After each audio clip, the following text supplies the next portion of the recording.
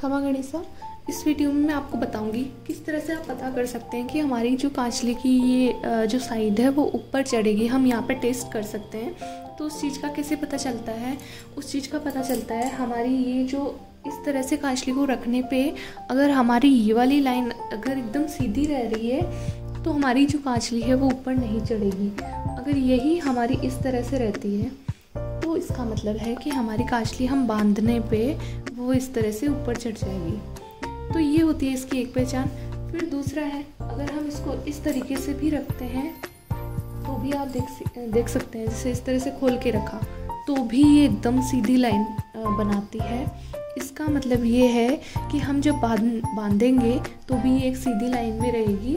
Otherwise क्या होता है, ये इस तरह से हो जाती है। तो इसका मतलब ये हुआ कि ये आपकी जो कांचली है, वो ऊपर चढ़ेगी। तो इस काचली के ऊपर चढ़ने के मेन कारण जो होते हैं, उसका वीडियो मैंने अलग से बना दिया है। उसका लिंक मैं आपको डिस्क्रिप्शन में दे दूँगी। उसमें मैंने चार रीज़न्स बताए हैं कि किस तरह से चार तरीके से ही काचली ऊपर चढ़ती है।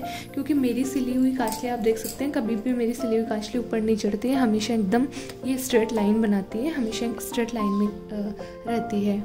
तो वो चार कारण अगर आप जान लेंगे और उन पर आप सही वर्क कर लेंगे तो आपकी भी कांचले कभी भी ऊपर नहीं चढ़ेगी, चाहे आप किसी भी साइज़ की बना रहे हैं और चाहे आप किसी भी कपड़े से बना रहे हैं। आपकी काचली है, वो हमेशा एकदम फिट एंड प्ले रहेगी, एकदम स्ट्रेट लाइन क्रिएट करेगी।